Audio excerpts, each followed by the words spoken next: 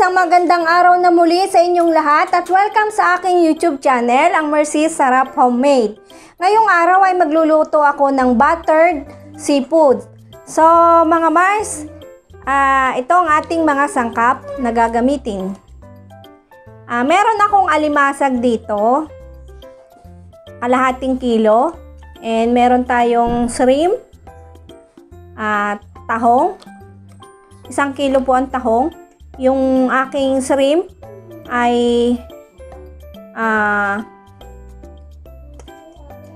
lagpas siya ng 250 grams eh mga Mars. So nasa sa inyo naman, depende sa inyo kung ilan po ang inyong ah, lulutuin.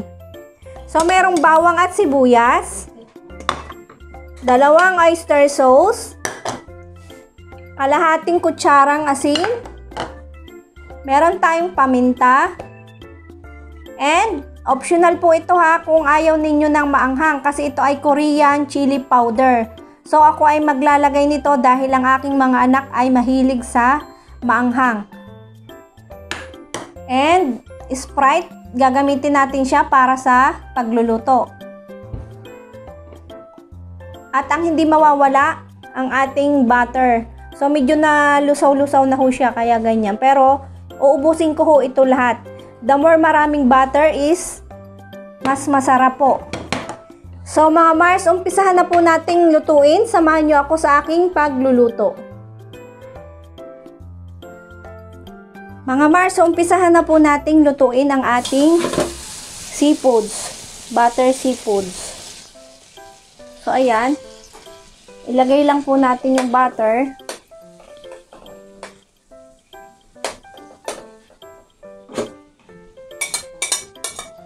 Nilahat ko po yung isang pack ha mga Mars. Kasi mas masarap po pag marami.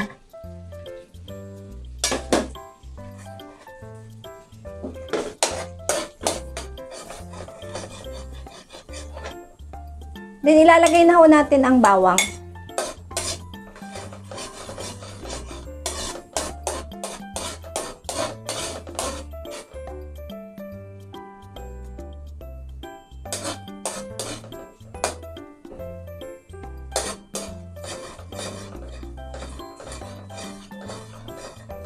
Madali lang maluto ito mga Mars. Ayan, nangangamoy na ang ating bawang.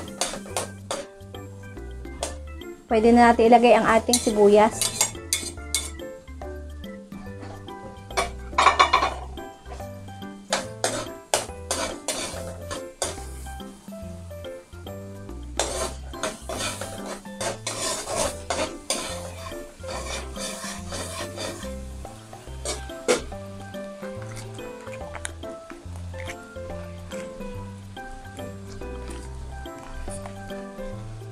Hintayin lang nating mag-brown ng konti.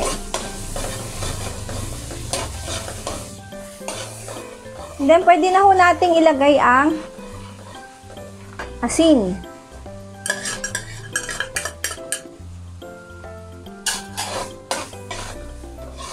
ng ating oyster sauce.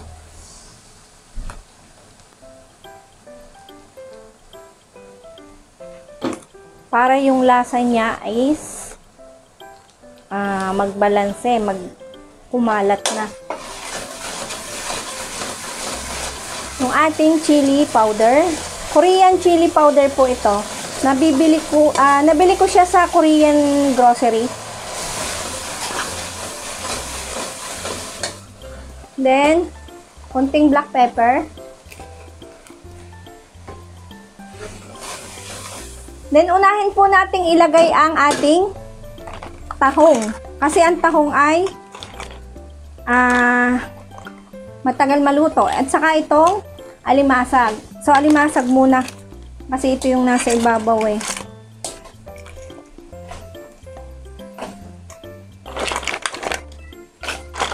Alimasag and tahong.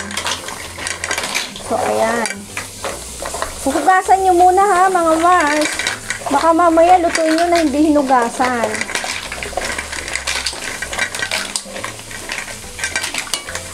So mga Mars, pwedeng kayong magdagdag ng iba pang seafoods, kagaya ng pusit. Pwede minsan dagdagan ng pusit. So, ito lang available kong nabili dito sa amin. Kaya, yan lang.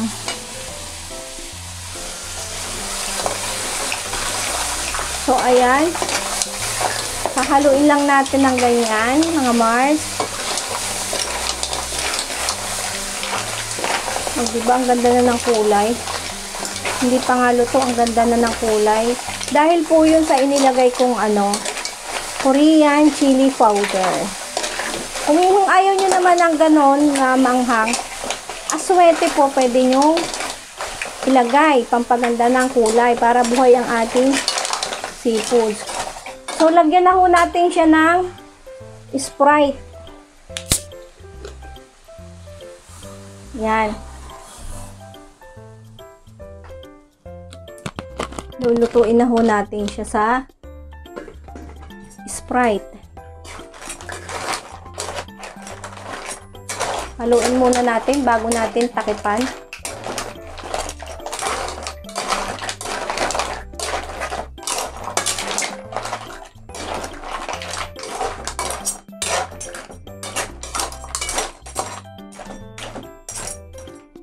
Hayaan lang nating maluto mga Mars yung tahong at alimasag.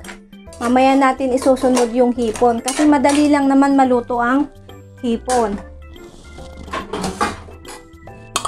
Tatakipan muna natin siya. Then balikan natin siya maya maya. So mga Mars, after 30 minutes,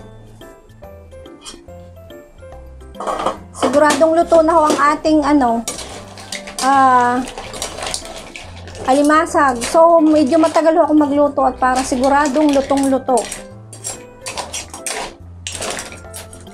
And ilalagay na ho natin ang ating hipon. Ayan.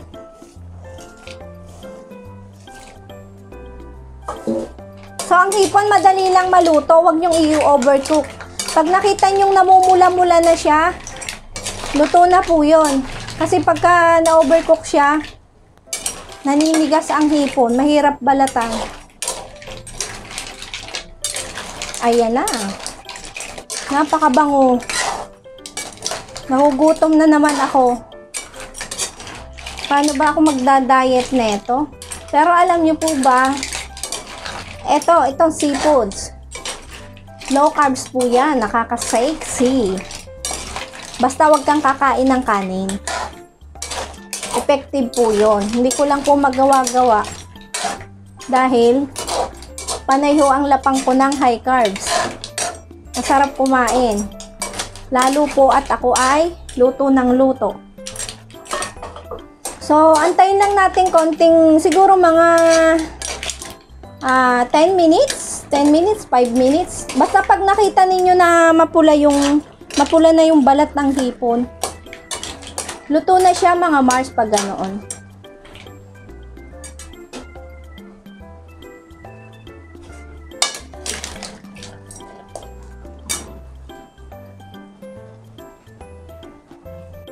So, ayan mga Mars, luto na ho ang ating hipon. After 10 minutes. And then, kung may sili kayong haba, pwede ninyong lagyan. Pampaganda lang naman po yan. Kasi meron na akong ano, ah, chili powder. Korean chili powder. So, papatayin na po natin ang apoy at ililipat na natin sa isang lagayan. So, mga Mars, ito na po ang ating luto na spicy buttered seafoods. So mga Mars, sana po ay naibigan ninyo ang aking ibinahaging recipe. At sana po sa mga hindi pa nakasubscribe sa aking channel, mag-subscribe na po kayo sa Mercy Sarap Homemade. And pindutin lang po ang notification bell para ma-update ka sa mga videos na aking i-upload. So mga Mars, tara na't atin ang husgahan. Samahan niyo akong husgahan. O, ayan po, napakasarap.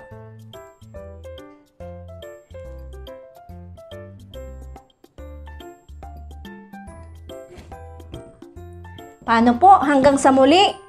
Maraming maraming salamat po. Paalam!